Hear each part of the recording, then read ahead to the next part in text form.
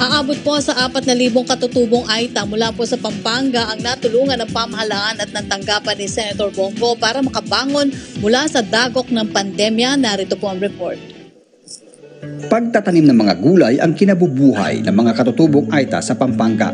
Ngayon, nagsisimula pa lang silang magtanim. Seasonal po ang aming pagtatanim. Ngayon po ay paglilinis pa po namin ang aming tataniman at uh, ibig po sabihin kami po ay uh, nasa kasalukuyang pagtatanim at wala po kaming maharvest ngayong panahon. Kaya laking pasalamat nila sa pagdating ng ayuda na hindi nila inaasahan. Ang tanggapan ni Senador Bongo na mahagi ng pagkain, grocery items, vitamins, mask at face shield sa limang komunidad ng Aita sa Porac, Pampanga alinsunod sa umiiral na health protocols. Nasa 2,622 na mga katutubong Aita ang tumanggap ng ayuda. Salamat po na sa araw po na to na mabibili namin po yung gusto namin pong makain ng aking anak.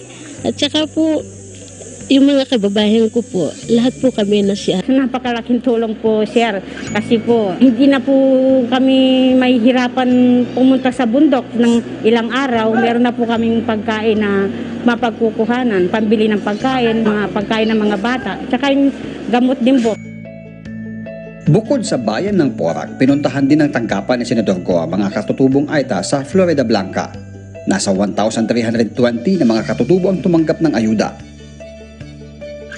sa mga staff niya pong nag-atid po dito sa amin, kahit po malayo, pinilit po nila makaakyat dito sa amin sa bundok. Kami po mga kulot, nahihirapan po talaga kami. Kaya nagpapasalamat po kami sa tulong niya binigay niya. Senador Bongo, sana po marami pa po ay matutulungan, kagaya po namin AITA, kahit may pandemic, nandyan po kayo, naandang tumulong po sa amin. Bukod sa tulong ni Go, ang DSWD ay may pinamahagi ring pinansyal na tulong sa mga katutubong Aita sa Porac at Florida Blanca. Ganon din ang DA, DTI at DOH. May kanya-kanyang programang inilatag na makatutulong sa mga katutubong Aita.